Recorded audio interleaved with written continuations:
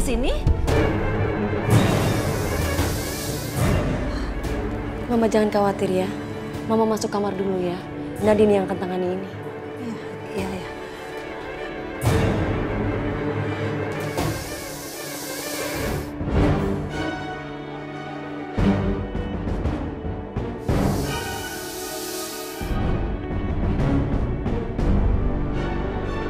Bibi,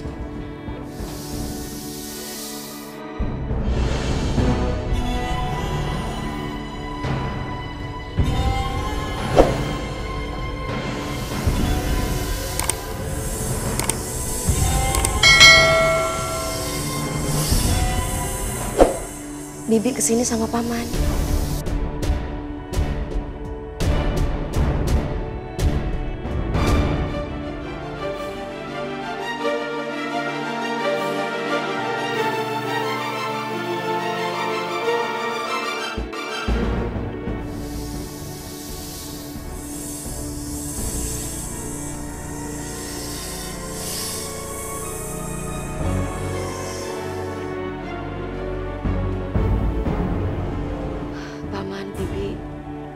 Kenapa tadi mematuk mama mertuaku?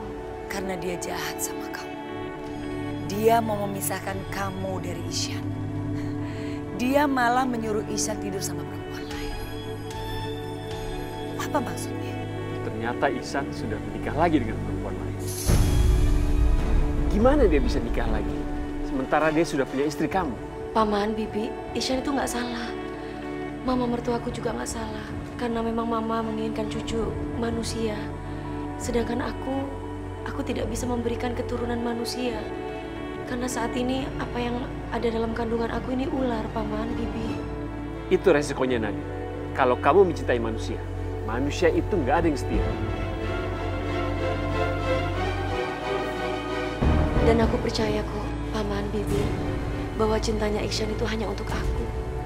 Aku sudah melihat pengorbanan Iksan yang selama ini Iksan lakukan buat aku. Sampai dia ingin menjadi manusia ular. Bibi tahu itu. Iya, tapi paman nggak bisa terima ini. Paman sama Bibi nggak usah khawatir. Aku dan Iksan akan baik-baik saja. Karena selama ini kami berdua saling mencintai.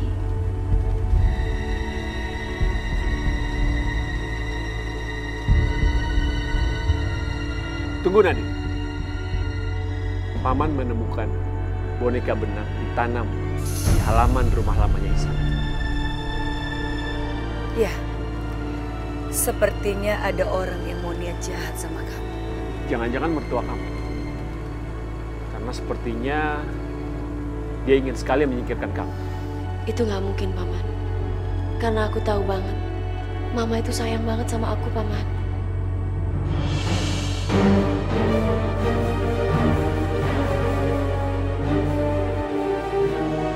Kalau Paman sama Bibi masih menuduh Mama yang meneluh aku, biar aku aja yang mencari tahu siapa yang sebenarnya meneluh aku.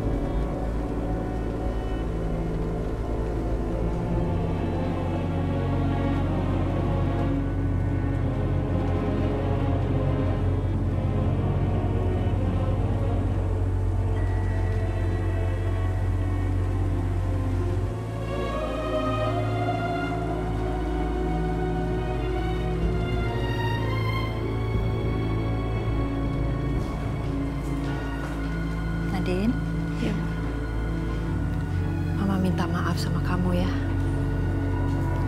Karena Mama nyakitin hati kamu. Tapi Mama harap kamu bisa ngerti karena ini gak ada pilihan lain buat Mama.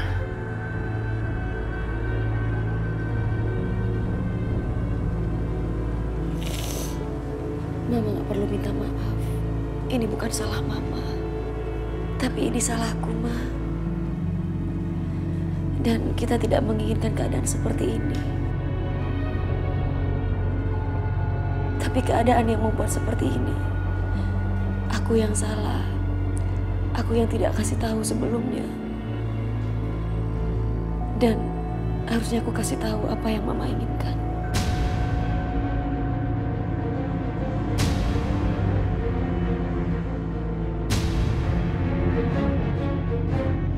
Ishan, meskipun kamu sekarang tidur dengan perempuan lain, tapi aku yakin kamu cuma mencintai aku.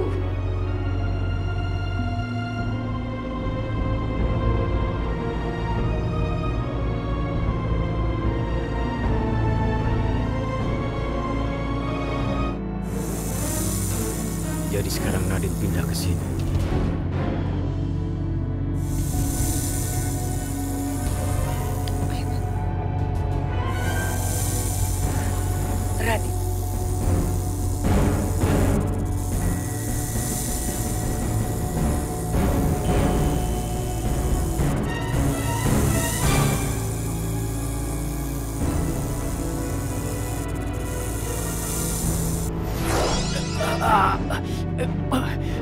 Paman, hentikan!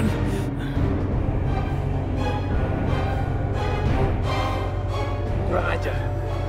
Masih berani kamu ke sini? Aku tidak akan melakukan apa-apa terhadap Nadine, Paman.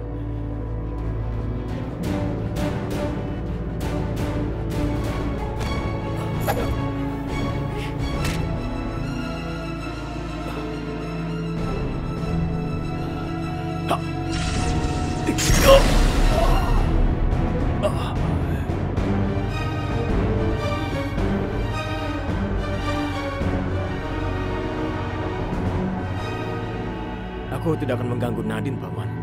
Bohong. Jangan pernah deketin Nadine atau Isan. Jauhin mereka. Aku serius, Paman. Aku sudah berubah. Dan aku juga sudah menyadari apa kesalahanku selama ini. Aku bukan Radit yang dulu lagi, Paman. Kami tidak percaya. Silakan saja, Bibi. Kau bisa bunuh aku sekarang. Aku baru saja menolong mereka. Membantu Nadine dan Isan mengembalikan perusahaan dan juga rumah keluarganya dari tangan Bella. Kami tetap tidak percaya sama kamu.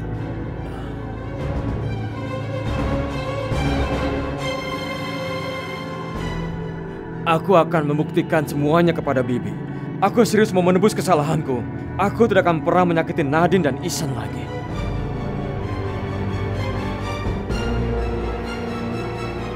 Awas kalau kamu lupa. Sedikit saja kamu sakitin Nadine. Kamu akan berhadapan dengan aku. Dan kamu juga berhadapan dengan saya.